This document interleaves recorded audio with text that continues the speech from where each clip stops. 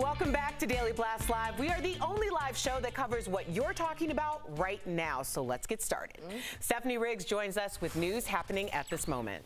And this just in, another top dog at CBS is out. We have just learned that 60 Minutes executive producer Jeff Fager is leaving immediately. CBS sent out a memo to staff saying Fager violated company policy.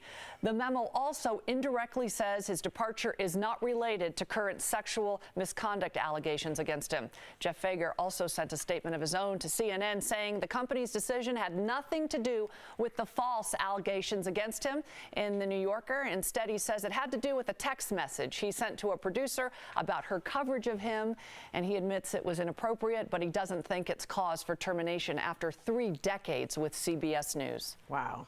Mm. Jeff Fager, what did you think Time's Up meant, buddy?